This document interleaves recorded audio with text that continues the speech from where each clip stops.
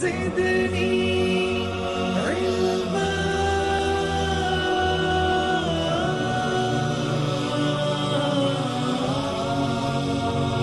رب زدني علما.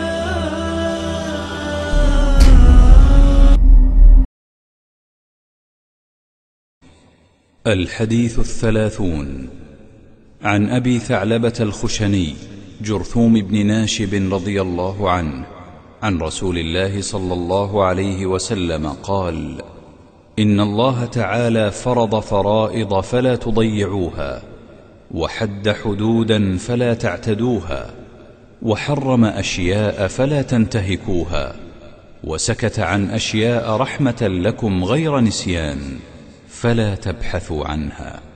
حديث حسن رواه الدار قطني في سننه. وغيره ابو شاہ ابو ثعلبہ خوشنی، ان کا نام تھا جرسوم ابن ناشر۔ وہ نبی کریم صلی اللہ علیہ وسلم سے روایت کرتے ہیں۔ پیارے رسول نے فرمایا، اللہ نے کچھ فرض چیزیں کی ہیں تمہارے اوپر۔ ان فرض چیزوں کو ضائع نہ کرو۔ جو فرض، جو چیزیں فرض کی ہیں، نماز ہے، روزہ ہے، حج ہے، زکوٰۃ ہے، والدین کا والدین کے اوپر احسان، پڑوسی کے ساتھ اچھے سلوک، یہ فرض ہیں۔ اس کو ضائع نہ کرو۔ وحد حدود فلا تعتدوها۔ اللہ نے حدود مقرر کیے ہیں۔ تل کا حدود اللہ فلا تعتدوها۔ اس ان حدود کو سے آگے نہ بڑھو۔ وحرم اشیاء اللہ نے کچھ چیزیں حرام کی ہیں۔ پھر حرام کو تم حلال نہ سمجھ کر کے حلال نہ سمجھو۔ اس کو استعمال نہ کرو۔ وہ سخت اشیاء بہت سی چیزوں سے اللہ تعالیٰ چپ ہو گیا۔ تمہارے اوپر رحمت کر کے تو اور اللہ بھولا نہیں ہے تو اس کے بارے میں کرید نہ کرو۔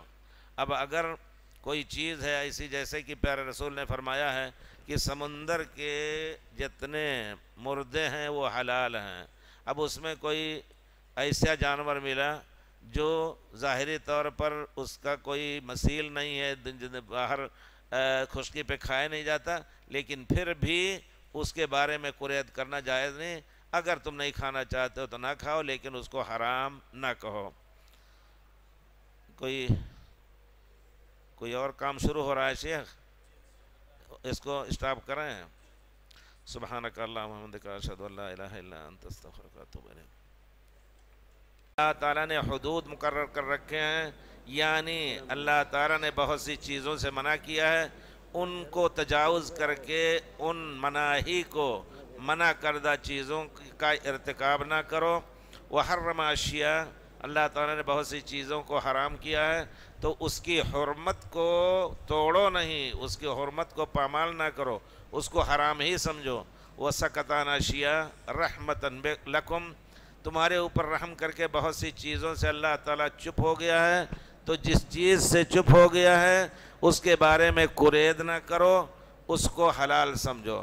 ان الحلال بین و ان الحرام بین و بینہما امور المشتبہات اگر شبہ کی چیز نہیں ہے تو اس کو تم حلال سمجھو۔ اس کے بارے میں قرید نہ کرو کہ یہ حلال ہے یا حرام ہے۔ لیکن اگر شبہ دلیل کے کئی دلیل اس پہ اکٹھا ہو کر کے بعض دلیل کی روشنی میں وہ حرام، بعض دلیل کی روشنی میں حلال سمجھا جاتا ہے۔ تو اس کو چھوڑ دینے کا حکم ہے۔ اس کے علاوہ الخلق لکم ما فی الارض جمین اللہ تعالیٰ نے زمین کی جتنی چیزیں ہیں تمہارے ہی لیے فائدے کے لیے رکھے ہیں۔ اور جو حدود کی کوئی جانور جو پھاڑ کر کے اپنا جانور کو کھاتا ہے، اس کو اللہ تعالیٰ نے حرام فرمایا ہے۔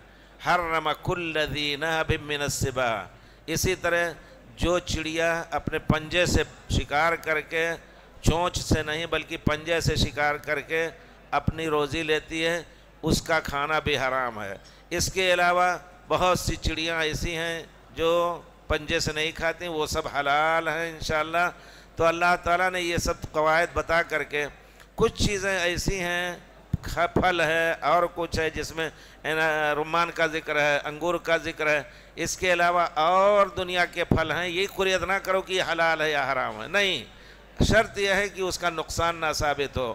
ایسا پتا جس کا جس سے نقصان ثابت ہے، اس کو استعمال نہ کرو۔ ورنہ یہ نہ پوچھو کہ اللہ نے صرف انگور رکھا ہے، انگور کا ذکر کیا ہے، انار کا ذکر کیا ہے، کھجور کا ذکر ہے۔ اس کے علاوہ دنیا کا کوئی بھی پھل ہو وہ تمہارے لیے پیدا ہوا ہے شرط ہے کہ نقصان دہ نہ ہو۔ جی۔